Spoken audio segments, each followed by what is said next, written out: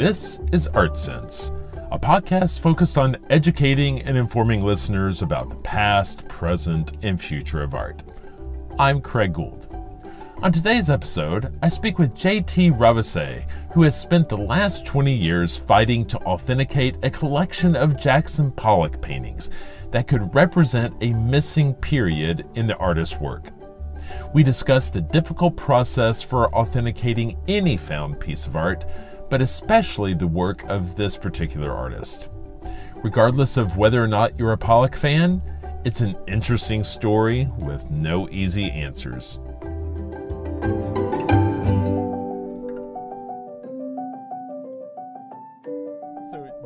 JT thank you so much for joining me on the podcast this week. Uh, JT, we I first met you uh, at an art event in LA, and um, I was amazed by what you had uh, because it looked just like a Jackson Pollock. And when I asked you, What is this? your response was a Jackson Pollock. And then my head kind of spun. And um, JT, can you kind of explain to us, you know, what what we're looking at, what we are looking at with uh, the Wyoming Working Group? What what is it that you you you have your hands on?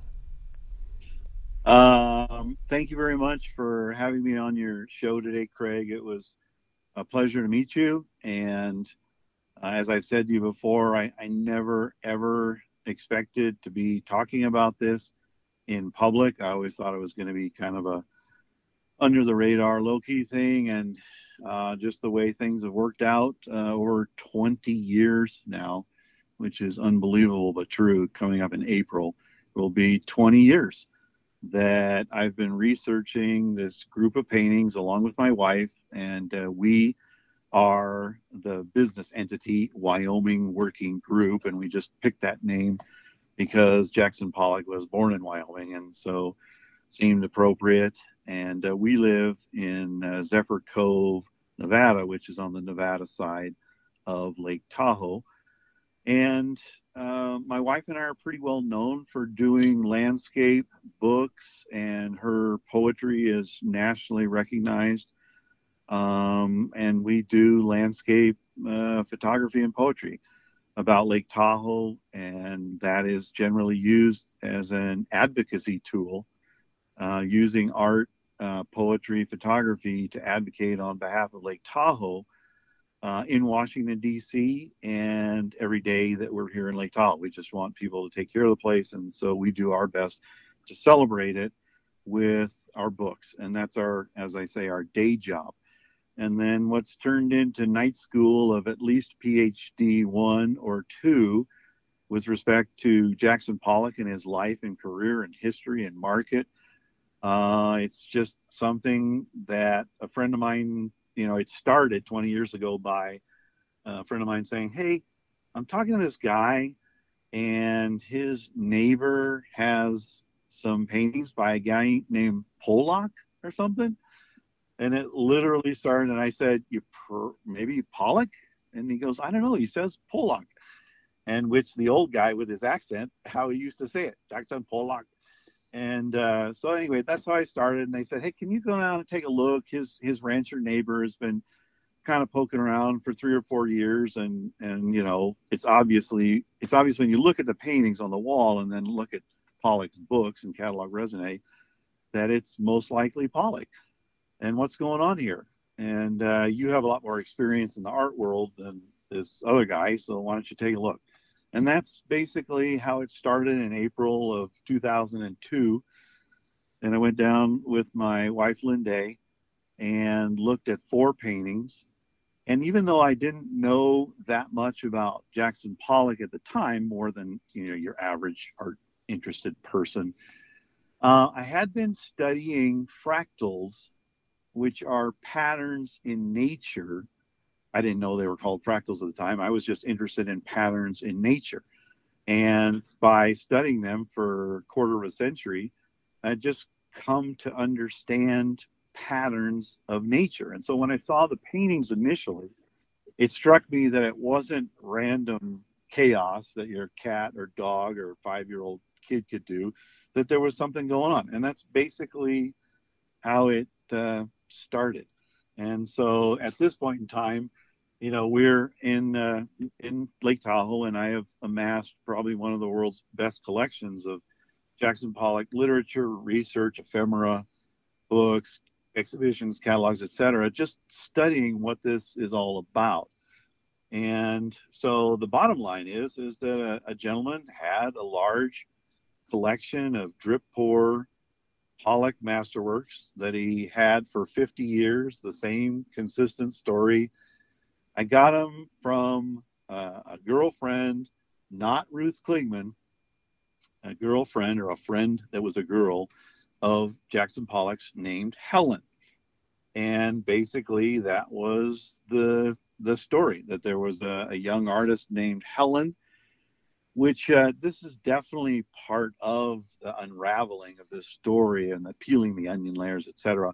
Is there was always a name Helen Rodfield, but the, the as you know this person who uh, was a friend of Pollock's lived in Greenwich Village, um, and that was the connection.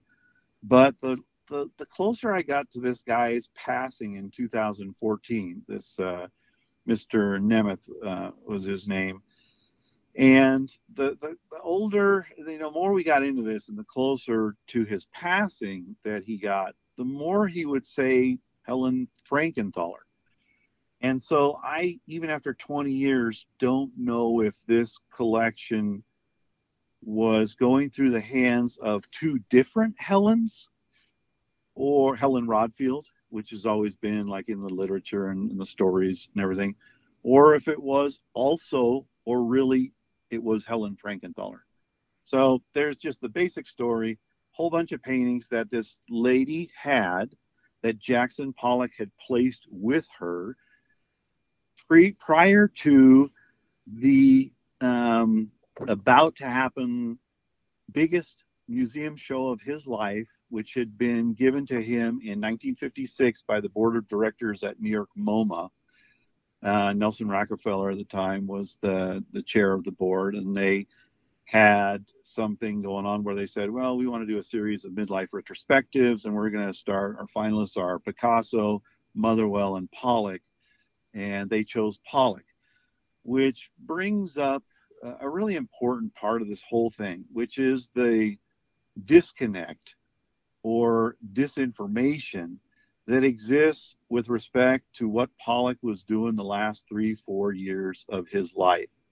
And it's one of the first questions out of the box is why would the board of directors of the prestigious New York Museum of you know Modern Art, New York MoMA, give a show midlife retrospective to a guy that future tellings of his story in life, mostly Lee Krasner, were, oh yeah, he was just drunk and he wasn't doing anything from 1953 to 56. A guy who had painted 40 to 50 paintings a year, and then he just nope, uh, he only painted 15 paintings. That's what's recorded in the catalog raisonné that was put together by Lee Krasner, um, kind of you know anointing and appointing um, you know Francis O'Connor and Eugene Thaw to do a four year process between 1975 and 1978 to pull together the, you know, quote unquote catalog raisonné. This is what we know of Jackson Pollock's, you know, career and life output. Um, I've come to think of it much more as an exercise of exclusion rather than an exercise of inclusion with respect to the paintings that they included um, which you know they picked them, they wrote it, they photographed it. Yale University Press printed it in 1978. But it's it's the life of Jackson Pollock uh, according to their you know vision, their agenda. And so in my 20 year process of researching, what I've really found is that there is, you know, quite a bit of a disconnect from the popular version that's been advanced over the last 50 years and is very institutionalized by now, whether it's, you know, reference books or college textbooks or whatever. You know, here is the story of Jackson Pollock's life, and that's the way it is. And uh, I would just have to beg, I would beg to differ. Um, so, anyway, um, you know, they, they put this document together, but I don't believe that it's accurate. I believe that something else was going on. Uh, all of this is informed by 20 years of research. Uh, I believe that Jackson Pollock was collecting or segregating a body of work from which he was going to make his final pulls for the show that was scheduled to take place in November of 1956. Um, there was, uh, you know, what this collection constitutes or is made up of is a remarkable and and large, huge. Uh, I've been tracking it down, you know, the story and the people and the paintings, and there's at least a hundred of of you know some of the best our absolute best drip pour paintings of Pollock's life. That the story is he hand selected and had, you know, with this younger artist friend girl, Helen, and nobody expected him on August 11, 1956, to die in a car crash, but he did. And this young gal all of a sudden had a large stash of Pollock drip pour paintings.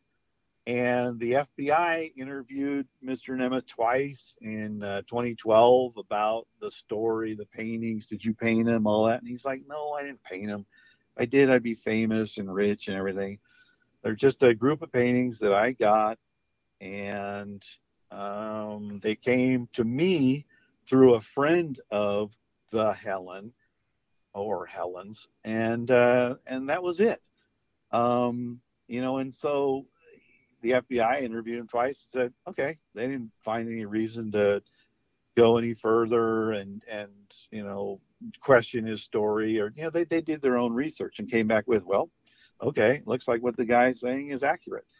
So it's, it's really odd, you know, that no, well, especially Eugene Thaw and Francis O'Connor, who were, you know, the godfathers, you know, for sure of the entire Pollock world and art market and kind of everything Pollock for many, many years from the mid 70s uh, until their passing in, you know, 2018. I mean, they were the ultimate arbiter. They, they were um, the guys that you wanted to have and weigh in one way or the other if you really cared about somebody, um, you know, weighing in and giving their appraisal or perspective or connoisseurship. Um, they were the ones, and, and we spent well over a decade trying to get both of either Eugene Thaw and in the case of Francis O'Connor, more than 15 years. Um, no, it's both. Both of them were, were 15 years or more to come to the table with you know no uh, no set parameters. Like we just want you to come and look at these paintings and say what you want to say, and they would not do it. And uh, so anyway, uh, it's like, well, uh, okay, if they're not going to do it, that's really odd. And how else would you go about the process of attempting to authenticate something that uh, there was no formal authentication board for, uh, due to its having uh, disbanded in 1996. Uh, at the time, uh, Bill Lieberman, Francis O'Connor, Eugene Thaw, Ellen Landau, you know, comprised that Jackson Pollock Authentication Board from 1984 to 1996.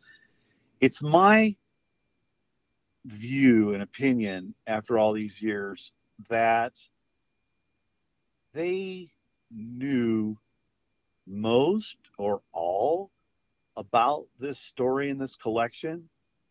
Um, I believe, well, there's so many different tangents, and I, am hoping that we'll just kind of get into this and, and have a discussion today that we'll follow up on because this really is a gigantic, huge story. The, the bottom line of which is um, you know, are these authentic Jackson Pollock? And there's we've done two and a half million dollars worth of research with the top scientists in the world since 2003.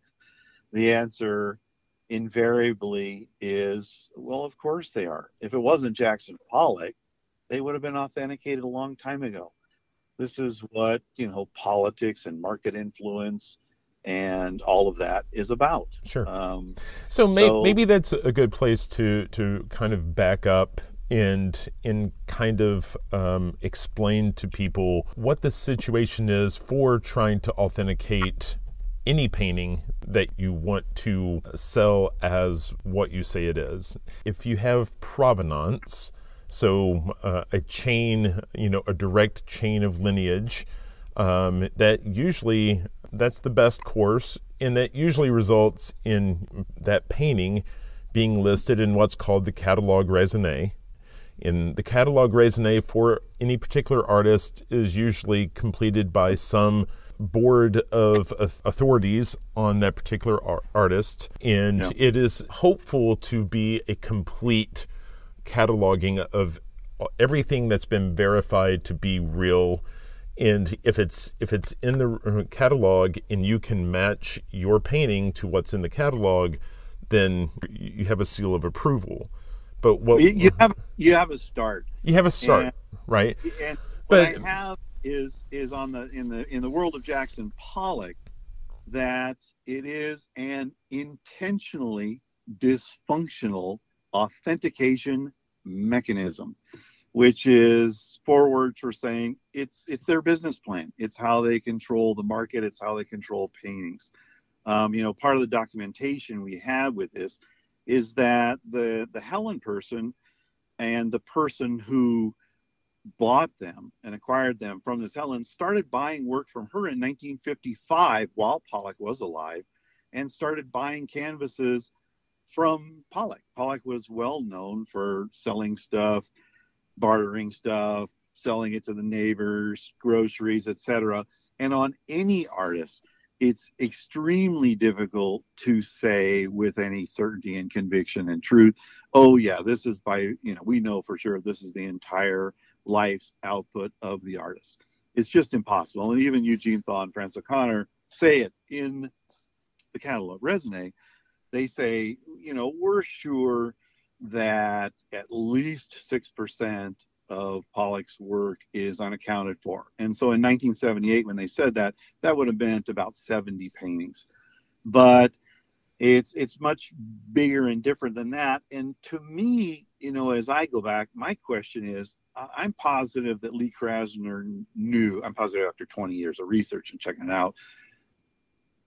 I'm positive that Lee Krasner knew that there was other large collection out there and that a lot of what she did between 1956 and 1984 when she passed away was just kind of manage and tell the Pollock story the way she wanted to. There's no questioning that Pollock was a pain in the ass um, and a difficult guy to be around, get along with, whatever. So, you know, their famous uh, relationship of, of, of fighting and hassling and whatever is is what it is.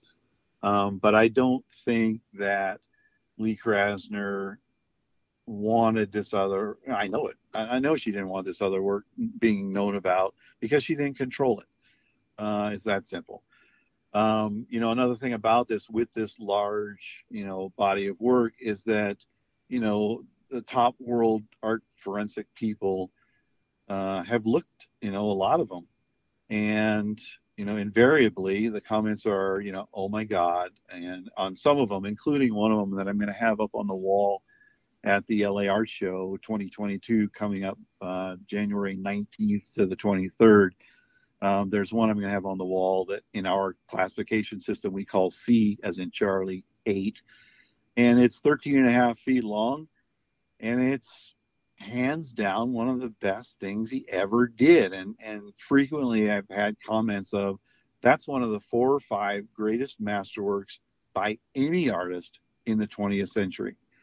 And so any painting that's part of this kind of group, each painting has to go through the process of examination, scientific testing, connoisseurship, you know, nobody's giving them a pass. If anything, as one uh, early forensic art scientist in 2007, who is a, an extremely influential person in the art world, said, I'll bet these turn out to be some of the most studied research paintings ever in the history of art.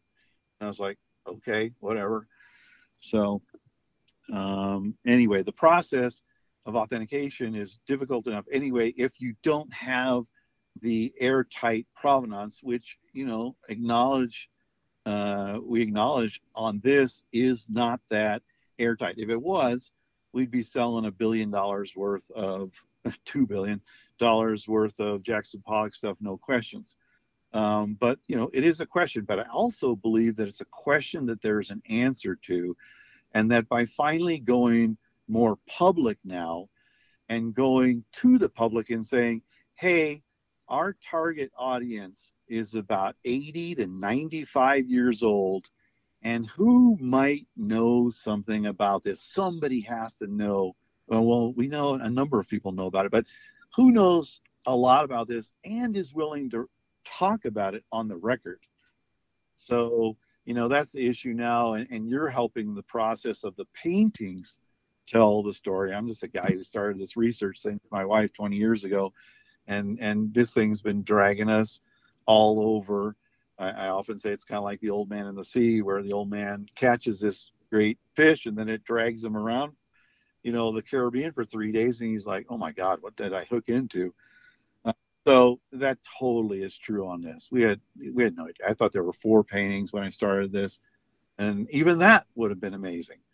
And one of the very first people I went to was Amy Meyer, whose husband Jack Meyer at the time was number two at the Getty, and she was in charge of some department, paintings, whatever, at the Huntington. And now I believe she is back at is it Yale University? Anyway, just somebody I need to reconnect with because 20 years ago, due to my having worked with her previously on another art project, I went to her and she said this comment, and I'll never forget. It was June 18, 2002, having lunch down there in Los Angeles. I like, Amy, I got this kind of, you know, weird thing, whatever. Just, I got this thing this guy, you know, has some old Pollocks. You know, how do we go about the process of authenticating and making this happen? And one of her comments was, don't expect them to be happy about this. And, you know, I'm going and thinking, wow, how cool. Four Jackson Pollocks. They're like national treasures. This is amazing. And her, she immediately gave me some of the best advice. And that was, don't expect them to be happy about this and I had no. You could have been talking Greek to me. I didn't. I didn't get it at all. And uh, 20 years later, I'm like, oh, okay, I get it. So um, it's uh, it's a huge white elephant in the room, 800 pound gorilla, whatever you want to call it. But at this point, we really are going public with it to find out what the real answers are that can be um, dug up and, and still exist with either living people or very odd things like Clement Greenberg in the mid 80s leaving a box with a Southern California institution saying, This is not to be opened until 30 years after the death of Helen Frankenthaler. And, and Clement Greenberg passed away in the 80s, and, and Helen Frankenthaler, who we through uh, a cutout tried to get to talk a bit, and she wouldn't. Um, but there's I, it just keeps coming back to that. There is well, some. Sure. Yeah, I mean, you know, Frankenthaler um, dated Greenberg mid 50s. She wound up marrying Motherwell.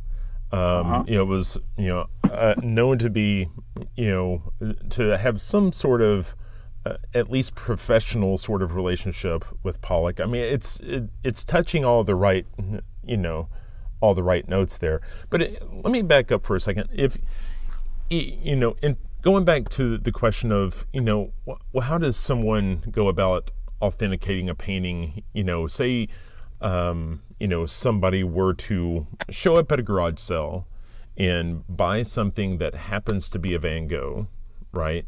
You, that you that you know how how does someone go about um, you know authenticating and getting a seal of approval? And typically, uh, and typically, what what happens is the there's you know an assessment of a artistically does it fit b is there some reference to the painting in the journals or whatever uh, then it's a, a, question of material sciences, right? Um, is is the canvas correct for the period? Is the canvas lucky enough to actually match another canvas uh, because they they were torn from the same bolt of fabric? Uh, are there stamps or or labels on the back from where it went through uh, a particular uh, gallery or house? Uh, the, is the paint consistent? You know, the more modern a paint is, the more synthetics are in there that just wouldn't be period appropriate. And I feel like, you know, if you kind of triangulate all that, you can come up with, you can make a case, but at the end of the day, that, you know, who who's to say? Well, typically it's the people that are putting together the catalog raisonné. And if that if that person is willing to say, yes, you know, you've stated your case well, and we, you know, we have that authority to say that that would to agree, then you get the stamp of approval. But sometimes you can have all the yeah. all the evidence, but still not get the stamp. And so, can you kind well, of? Well, that goes. This goes back. Uh, sorry to interrupt, but it just it, it's there. Um, this goes back to the whole concept of you know authentication in general, but specifically Pollock going back to that, you know, little statement of intentionally dysfunctional authentication mechanism. The the Pollock Krasner Foundation recused themselves, you know, years ago from deciding to weigh in on authentication matters. And I, I honestly believe it was because of this large collection. They were just between a rock and a hard place. And it was better for them just to deny, deny, deny, and not try and look at something, which is, you know, a comment I had from several of the top art forensic world experts who went and said, you know, hey, we're interested in finding out some answers and some research. And what's interesting is that originally authentication was, you know, mostly the scholarship connoisseurship angle. That's all you could do. And it was only about the year 2000, really, that scientific technologies became available that would allow someone uh, to take a parallel track of authentication, which was, well, in absence of perfect provenance, in absence of a catalog raisonné board of experts that want to weigh in on it, uh, what are you left with? Well, you're left with attempting to create a case of fact that you can present to a court of law or the court of public opinion and just say, hey, you know what? 20 years, millions of dollars of research. Here's what we've found. Uh, we know that the real answer is out there, and kind of that's the part of the, the research phase now, which is now it's like open source. Um, it's like, okay, uh, um, you know, good, bad, or ugly um, you know, who has something legitimate that can be confirmed that they want to contribute to this question, this discussion. Um, you know, the the different parts of the authentication question and case that we're putting together, as you mentioned, it includes materials analysis. So you're uh, analyzing the paint, you're analyzing the support, you're analyzing the canvas. Is the canvas weave something that the artist has used before? Absolutely, definitely. There are several different canvas weaves in and among the, the paintings that have that you know comprise this large group. And in the large group, there are canvas, paintings on paper, paintings on masonite, paintings on artboard, predominantly canvas and paper. Um, but you know that's the the the case that we're putting together is materials. Um, then it's the whole thing of connoisseurship. How does it compare with specific examples from the catalog raisonné? Um, and then the whole question, which in 2007 we started before even one single reference or mention of it had ever been done, which is the whole thing about trying trying to figure out DNA match. and what really is involved with that. And we were just literally too soon. Um, you know, so much has changed and evolved since 2007 with respect to the knowledge collection, testing, bodies of evidence out there that can be accessed. And so I really find myself in a place now of going back to the drawing board after 20 years and saying, what did we do right? What did we do wrong? We're going to, we're going for it now. So to put together, you know, a body of evidence that everybody or most 99% of the people in the world can agree on. You'll always have some doubters and whatever. That's just, especially with Pollock. Um, you're just trying to put all of that together. And the DNA thing is a huge question for us. And part of our process of being stonewalled and rebuffed and ignored or suppressed by the Pollock Krasner Foundation because we have attorneys' letters from over a decade saying, excuse me, you've allowed many other experts to go and sample the floor, photograph things, look for paint samples, look for DNA hair samples. Why are you excluding us? And uh, so, anyway, um, I really do find myself, you know, unbelievably at this juncture of like, okay, well, what have we actually accomplished? What do we need to accomplish? We need to accomplish the authentication of the group as a whole and to bring them out um, and and more than attributed to Jackson Pollock. They deserve, or at least all the ones that you know pass the test, they deserve to be recognized as original Jackson Pollocks and included in his life work because many of these, getting back to the whole concept of was this uh, you know a hand pulled by Pollock, because the ages of these paintings range from early ones, meaning early drip pour 40 45, 46, 47, well, even earlier than that, you know, the very first stuff. In the catalog raisonné, there's something called the 1943. It was something about the galaxy where you start to see a little bit of the drip pour. And then 46, 47 especially is, you know, full on. Here's here's this thing I'm doing. Um, so, you know, there are paintings in this overall group that are from early in the career, and then you can you can totally match up stuff with 49, 50, 51, 52 and then it's our contention that a lot of this collection is 52 to 56. And part of that story is the arrival of Clyfford Still into the the hood, as it is, the Springs, um, back in 1951. And this is a really interesting reference point. This is something you wouldn't have known before 2011. Uh, Clyfford Still unbeknownst to everybody except his wife, during his life only sold 6% of his work and kept over 2,000 pieces that, you know, for the people that are familiar with it, that he left the wife with instructions hey, if you go to a major city that will build me a gallery to my specifications, got to have skylights, you know, can't have a cafeteria, can't show anybody else, you know, whatever specific things he had. If they do that and build me a, a museum, I'll give them all the work. And so it was Atlanta and maybe Philadelphia and whatever, and, and Denver actually wound up winning. And there's an interesting correlation. I mentioned this in the, you know the only public lecture I've ever given on this at the LA Art Show back in in 2020, uh, February 7th.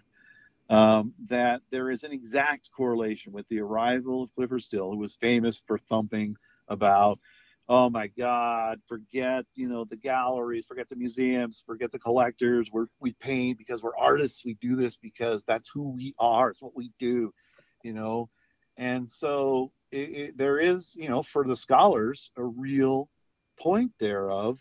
uh, was it in fact pollock drunk or just not painting 53 to 56 or with the influence of Clyfford Still did he start to become much more selective about, hey, he's totally right. I'm painting this because I like painting. I, am you know, this is what I, I do. This is who I am. I don't, you know, in fact, I, I, I'm on record as not being too happy with my gallery, you know, reps and museums and the whole thing.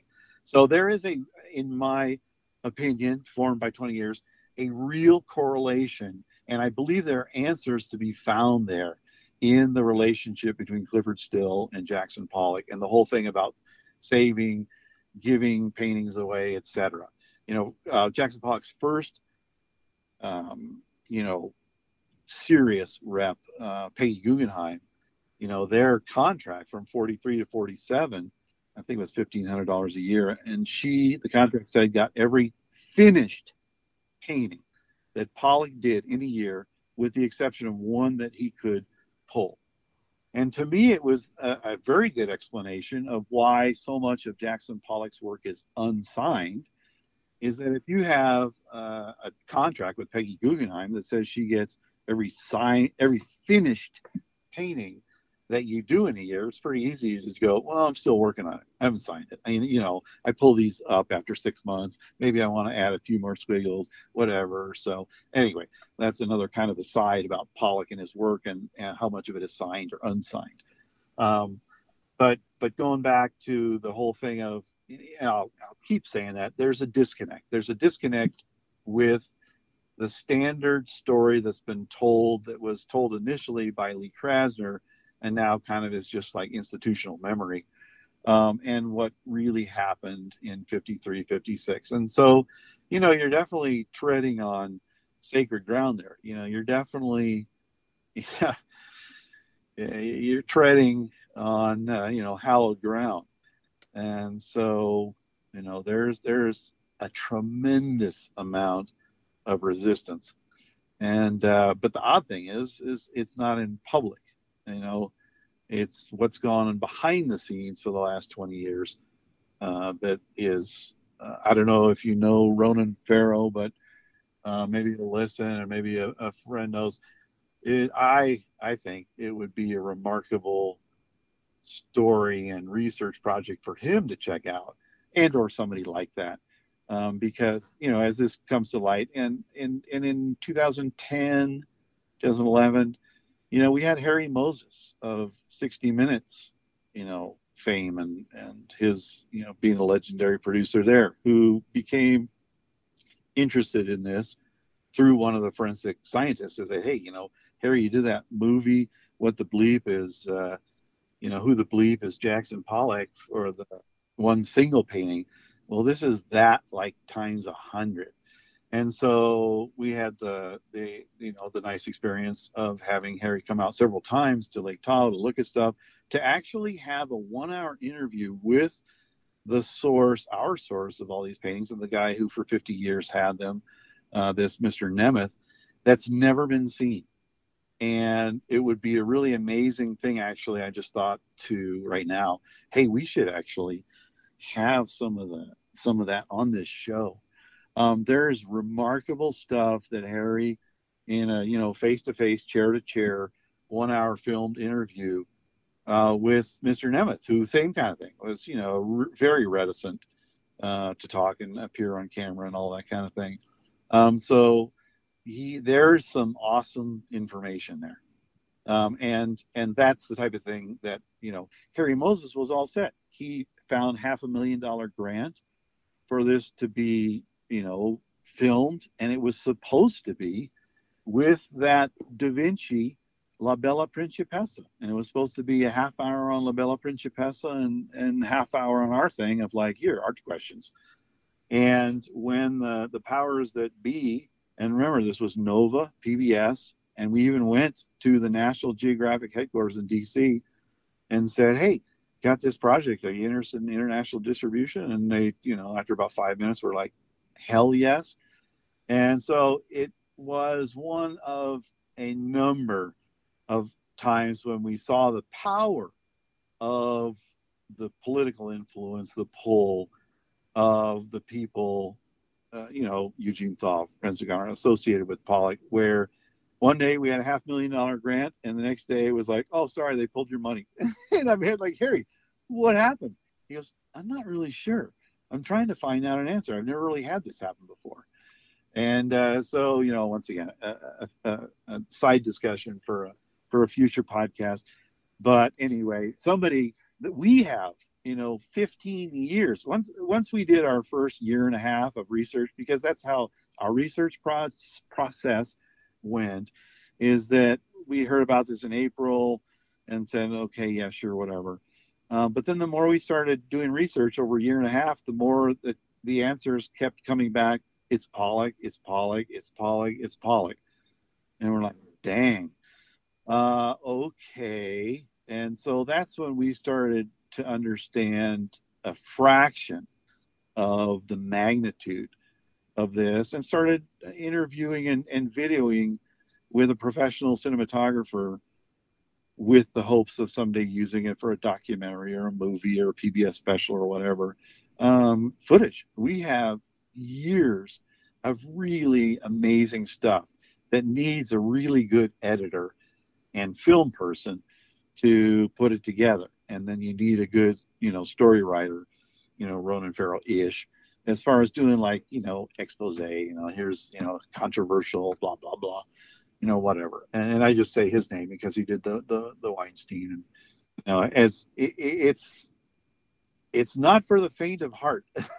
I'll just, I'll tell you that right now. Uh, so you know, you can look at it a couple of different ways. I mean, at some point, I'm sure you know folks would love to be able to to monetize on the fact that that these pieces are able to be authenticated, but in from like an art historical perspective, right? If if these really are by the person we think that you and you know you're making the case that I'm I'm I'm buying in that it, that if these really are by Pollock, they they aren't just paintings by Jackson Pollock. They are some of the, if not the best paintings by Pollock, and it would be an injustice for his best work if the fact exists that these are by him. Yeah, absolutely. Right. Absolutely. And you know, we we had uh, Steve Rubino, who's a famous uh, attorney and a guy named Rob DeBrouwer, who is actually on a trustee on the board of uh, State University, University uh, Stony Brook, who actually owns the Pollock Krasner. I mean, the, you know, the Jackson Pollock Painting Studio. You know, they own it, and then the the Pollock Krasner Foundation, you know, leases it or uses it or whatever. Um, but they went and had a conversation with her, and she just said, "No, not interested."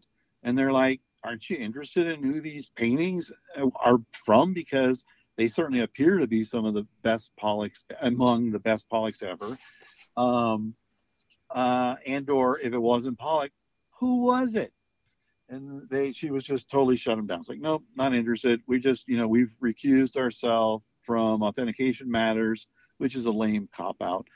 And, uh, and that's just how we're doing stuff right now. And that was probably in 2014 ish, 15 ish. I, I, can find out the exact time. Um, but you know that was their just attitudes like nope sorry uh, we're not interested we don't we, we don't want to upset our version of the world you know our version of the pollock world is flat and you say it's this no we're just not interested and so that's and they said you know is that a responsible response for somebody who's you know allegedly the flame keeper the the guardian per se of Pollock, the career and and the body of work. So it's a re it's a tough, tough equation and question for everyone involved, which is why it's been easy for everybody to ignore it, sweep it under the rug, intentionally suppress it, what have you. Um, and so, but you know, now is time, and it was time 10 years ago.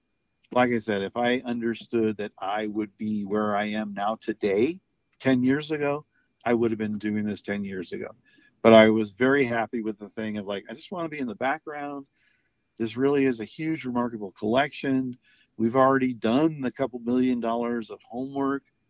It's, you know, if it's not every single one of these paintings in this collection, then it is the vast majority of them. And that's just giving the nod to you have to ask the question you know, where some of these like just slipped in, whatever. And it's like, fine, I, am you know, that's reality. Everything has to prove itself. Um, so, but the the Pollock Krasner Foundation has definitely been about ignore and suppress, and uh, and and they're in a no-win situation too, because it's like, well, uh, for us to acknowledge that would would mean that somehow we have to admit that at what point in time did we really know about this? And according to the forensic scientists that talk in closed door sessions with them, it's at least since the 70s. So it's it's a very difficult equation to figure out. How do you do this without you know destroying the artist, without destroying the artist's wife who was hiding this stuff, who came back from Europe a couple days after the car crash and found a document that was a whole bunch of paintings and inventory in Jackson Pollock's own handwriting and look at it and say, what the F? Where the heck are all these? And so oh, it's, uh, it, anyway, it has to be done. I, I just really uh, never thought I would be here. right.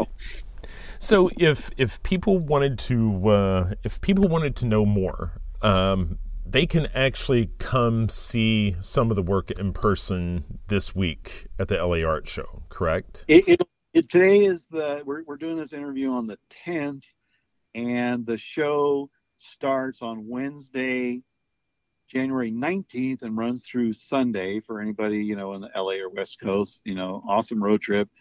Omicron, Omicron is really just the latest freaking hassle uh, of all of this. But seeing the paintings in person is the best, strongest argument for their authenticity. Right. And I, I know that uh, you have a magnifying glass uh, at oh, hand. Yeah. Uh, it's fun. It's totally fun. It's, it's, you would never get a chance to get up close and personal with these paintings like in a museum, like you would seeing them in the booth. The other thing is that you know www.wyomingworkinggroup.com, and you just have to type it in the Google search bar because we don't even have it distributed to search engines. But if you go to www.wyomingworkinggroup.com, you know, the start of the story is there. excuse me. And only in the last year have we put that up as kind of an informational tool. And because we're still trying to decide, you know, what's better a documentary, a, a book, a catalog, how do you do this? And literally, the whole conversation started with a phone conversation between myself and Eugene Thaw in October of 2002, where I called up IFAR, International Fine Art Research, and just said, Hey, I hear, you know, the Pollock Krasner Foundation is not doing authentication anymore. There's no Jackson Pollock Authentication Board. Uh, I'm trying to do some homework. And uh, what do I do? And he said, Well, you know, send us 1500 bucks for painting and everything you know about it and all of the information, and we'll uh, do a report. And then I said, which I probably shouldn't have, uh, isn't it true, Mr. Thaw, that at least with respect to Pollock, that when you produce an authentication report, that the people writing the, the report don't have to sign their name. And doesn't that mean really that there's absolutely no accountability? And I said that word for word. And then there was this silence on the phone that seemed like forever. It's probably 10 seconds. And he was just like, well, you know, that's one way to look at it.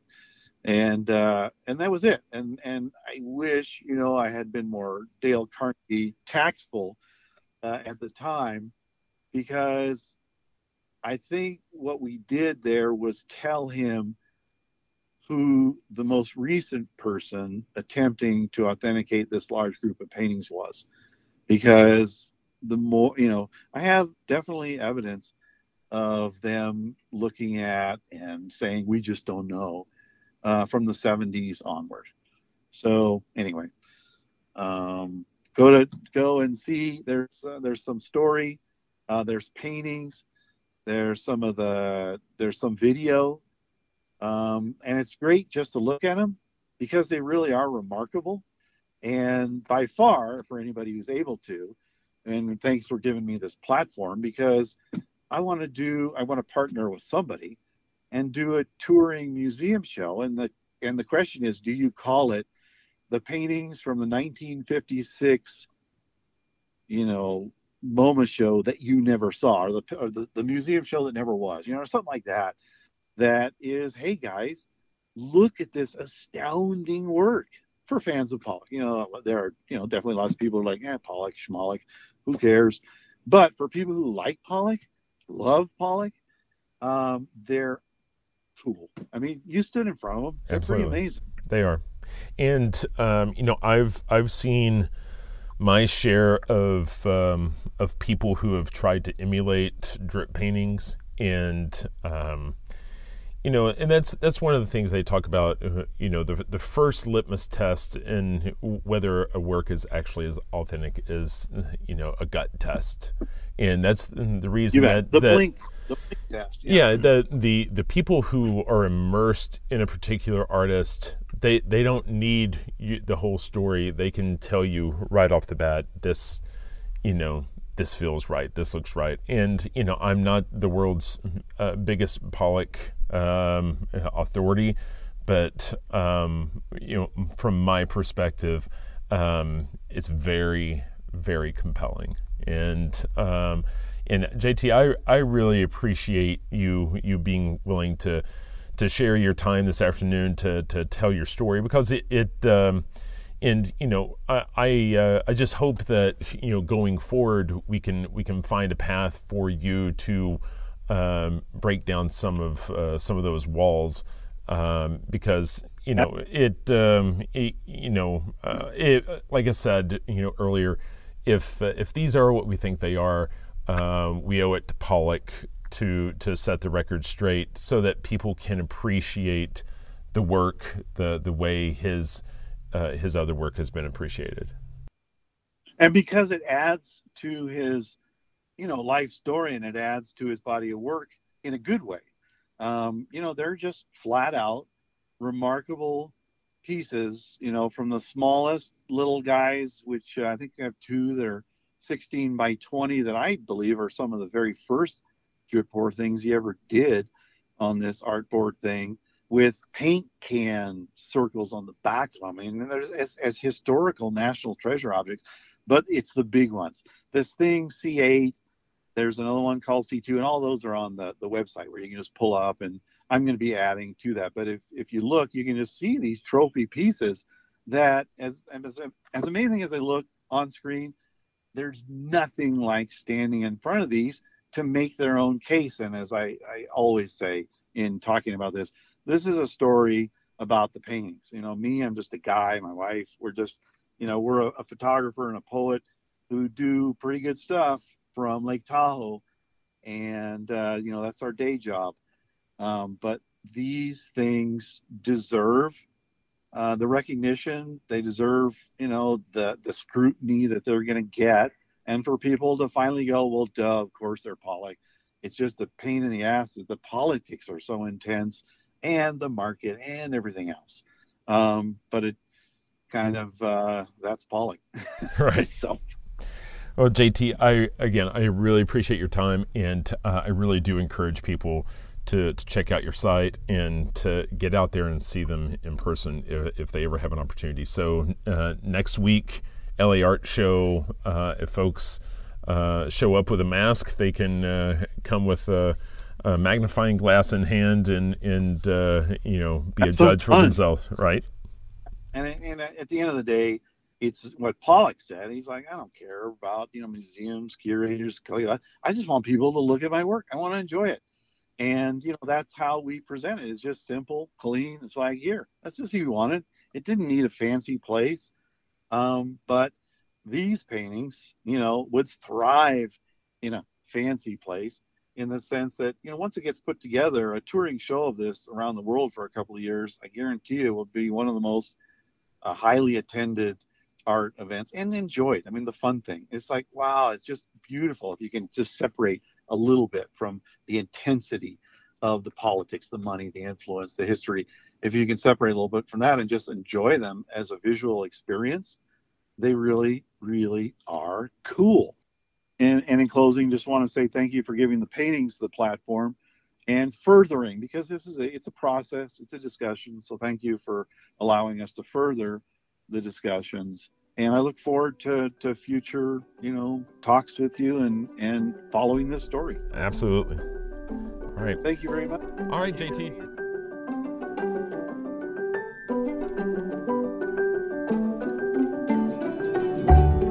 That's all the time we have for this week. You've been listening to Art Sense. You can find the show on Apple Podcasts, iTunes, Google Play, Stitcher Radio, Spotify, or your favorite podcast app. If you've enjoyed this podcast, be sure to subscribe, and while you're there, please rate the show and leave a quick review. Your feedback is the key to other folks finding us. If you'd like to see images related to the conversation, read a transcript, and find other bonus features, you can go to cambia.art and click on the podcast tab. If you'd like to reach out to me, you can email me at craig at cambia.art. Thanks for listening.